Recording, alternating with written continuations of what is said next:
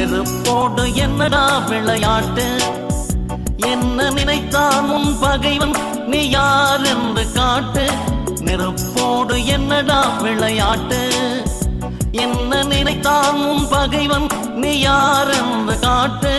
நெருப்போடு என்னடா விளையாட்டு?